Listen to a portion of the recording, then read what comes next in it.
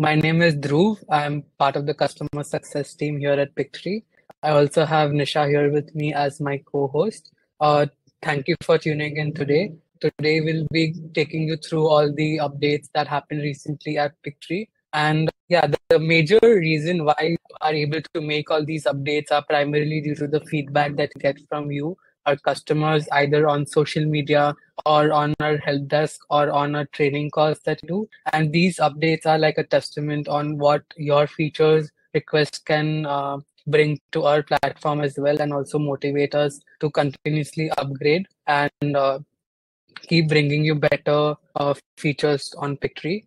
So one of the features that just launched here are the multiple text boxes. Uh, I'll start by clicking on script to video we'll click on proceed. I'll just copy my content here. While I'm doing that, I would also like to point out some best practices. Uh, one such practice here is that when you're copy pasting content on Pictory, you can use Control C, Control V, or Command C, Command V on Mac. Uh, right click does not work while you're copy pasting your content. Yeah. Next, we click on proceed. I'll just select a random template here and then we can go ahead and go to storyboard. Okay, perfect. As you can see, this is the storyboard here, which is pretty standard from what you've been using so far. The only update here would be the text, uh, visual text button on the left. If, as you can see here under audio, there's the text option and you can add three different types of text here. One will be the heading, the other will be the subheading and your body text.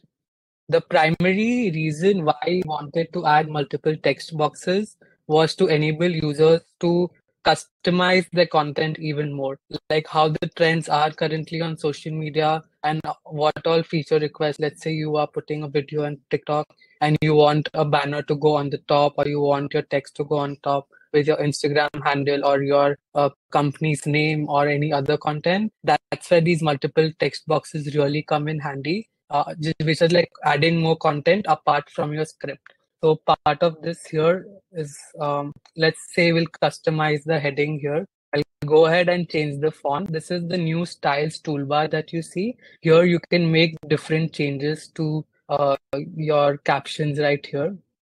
Let's start by changing the font, changing the font size, the casing, and keep the alignment as is. Now you can also change the text color, background color and highlight color. While I'm here, let's just take some suggestions for you. Uh, why don't you type your favorite color in the Q&A box here and we'll try and include those color for customizing. Okay, let's hear it.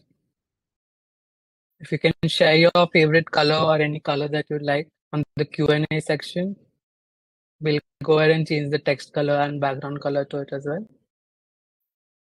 We have red, aqua, blue. Okay, a very specific color request. Awesome. We'll try this one as well, since it's a number. Okay. Let's change the color now. Okay, that's the text color here. And now we'll do the background color to red, which was one of the requests here. Now, as you can see, I did change the background color. And now you're wondering, Dhruv, if you change the background color, why can't I see it on the video? That's because there's an additional setting here, which is the opacity. You can drag the opacity slider based on what you like, what percentage you like. We'll keep it at a solid 60%.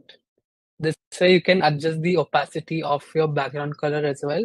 And then it will show up on your um, text here apart from background color and text, you can also um, change the alignment. We'll keep it to the top right here and we'll add an animation as well. You can add entry and exit animations.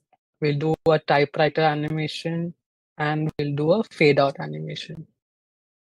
So as you can see, there's different animations for both your uh, script and your um, multiple text boxes right here which goes to show that it is independent of your script. Uh, this is one thing that we'd like to highlight is that when you're adding text to your um, multiple text boxes, they are independent of your script and the voiceover does not narrate them. That's because we want to keep it as more of an accessory to your video So like I mentioned earlier, you can add your Instagram handle, you can add your additional information. So that's the primary purpose of these multiple text boxes. And let's the one setting that a lot of our users primarily use is the hide text feature. So you might add the voiceover, then you would want to hide the subtitles. So if, when you do that, you can only hide the subtitles here, but your heading still stays on. So uh, how do you delete it? Uh, you can click on the heading uh, or the text box here, and you have three different pop-ups. So one is the duplicate option. The other is the copy to all scenes option. If you can see, you can just copy the same text box to all your scenes.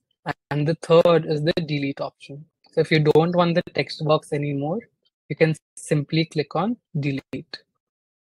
And that way your multiple text boxes are gone from a video.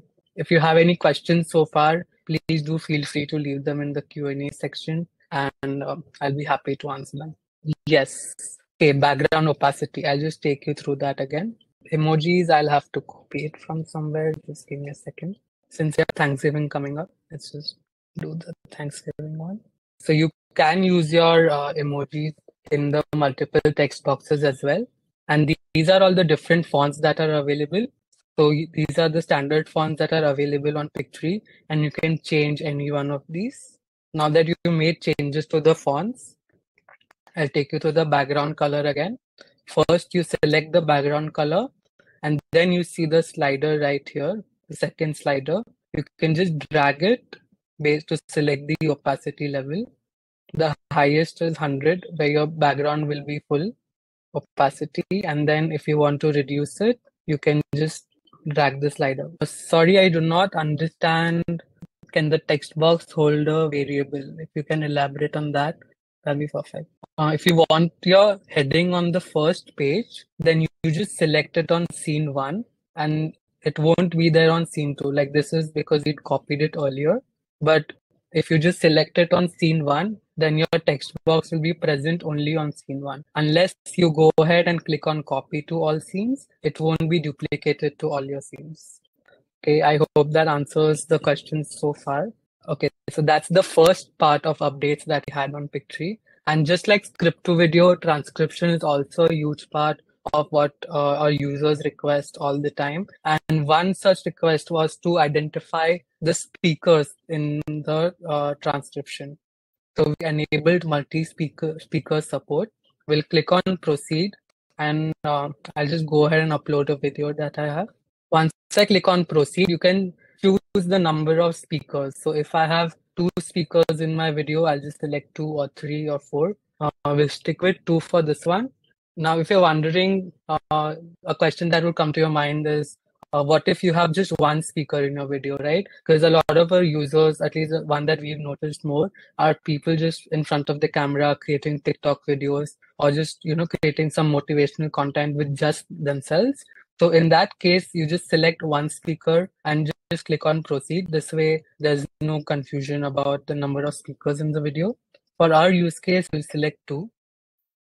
And um, I already have this transcribed. Yeah. So as you can see here on the transcriptions page, you have speaker one and speaker two. These are the default names. But if I want to change here, you can double click on it and you can, you know, select the names here. Now you cannot leave them blank. Like if I have speaker two here, you will need to add a name or you can just leave it as speaker two. If I go ahead and click on delete, it'll give you a warning that name cannot be empty. So we do recommend either you leave it as speaker one, speaker two, or just add a name that you would like. Um, so the identifying factors are the colors. So you have speaker one in black and speaker two in blue. Uh, otherwise, uh, it just helps you with uh, your overall transcription. So it won't show up in any preview or while you're on the storyboard. And uh, this way, it, it will uh, smoothen your transcription process in general. Any questions so far?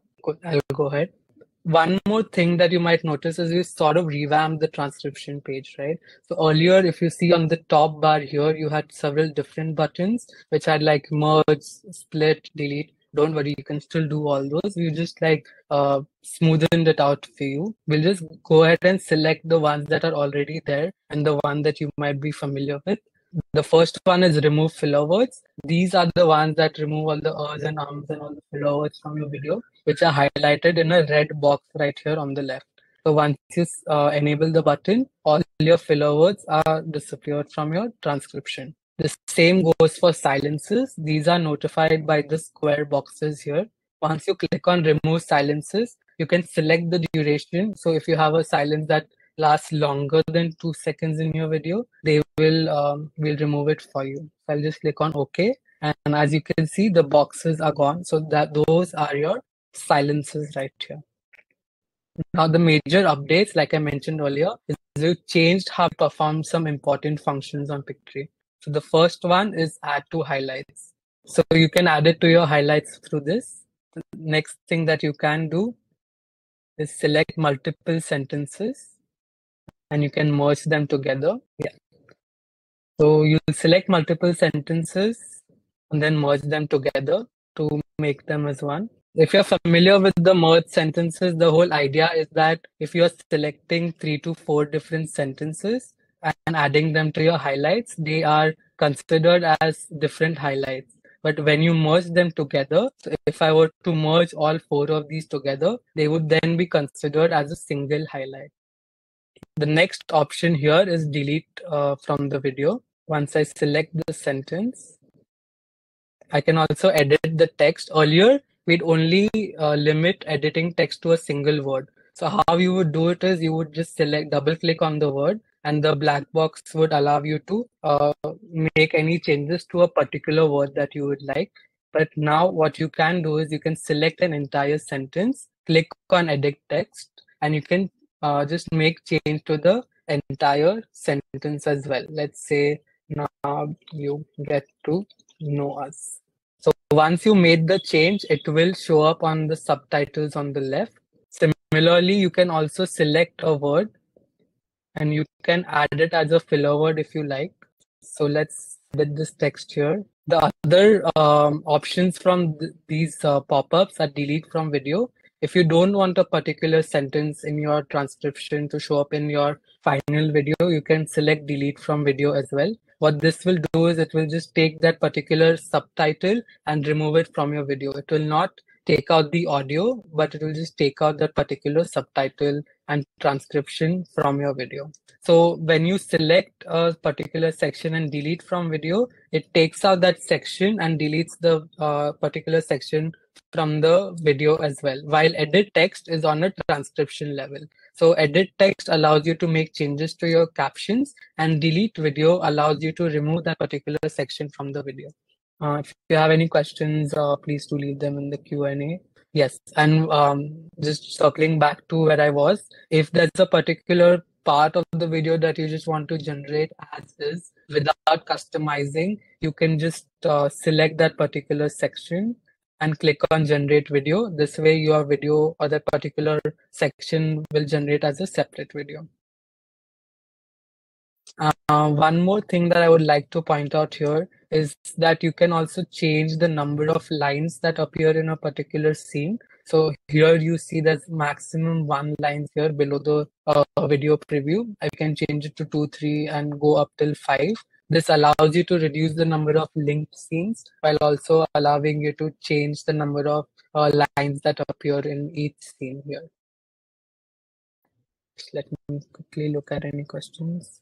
Yes, so you can select or you can click on right click as well. Yeah. So I'll highlight this here. I get the add to highlights, edit text and generate video option. But what I can also do is can the right click as well to bring up different uh, options like split, add a filler word, edit text and delete from video. So you can either highlight or click on the right uh, right click right here. Okay. Um, next, we have the templates options here. You can either select from the templates library right here, or you can go to my templates and select any of your previously customized templates from this option right here. While the video is uh, customizing, happy to answer any more questions. This takes you back to the storyboard here. Here you can make further changes to your video and um, your subtitles and your captions. You can add your old templates to make changes to your styles and your library. You can add your intro, outro, and um, add your voiceover as well if you wish. And along with the new update, which is the multiple text boxes. So that was the lowdown on all the different updates that we had so far on Pictory which includes your multiple text boxes, improved transcription, and adding speaker multiple speaker recognition. Any questions for me? Okay, if you don't have any questions right now or while you're experimenting uh, with the new updates, please do feel free to write to us to uh, support and we'll be happy to answer any questions or any other queries that you might have. Uh, thank you for taking the time out to join our webinar today. And um, also have Nisha here with me. Thank you, everyone.